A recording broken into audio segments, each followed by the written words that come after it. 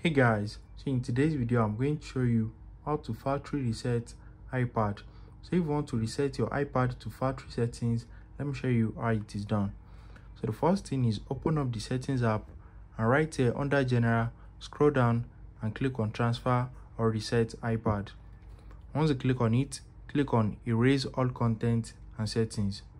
Note that this will delete everything on your ipad. So once you click on it click on continue and click on erase ipad. Once you click on it enter the passcode of your ipad.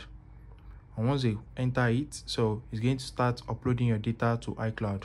So i'm just going to skip this which i'm not going to do it. So now you need to enter the password of your apple id account. So let me do that right now.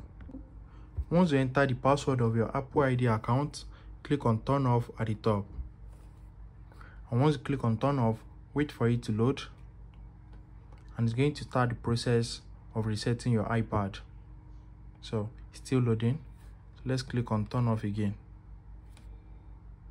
So it's going to take few seconds for it to show this thing. And now once everything is now deleted your ipad will restart and it's going to look like new. So you have to start the setup process from the beginning again as if you just bought it new.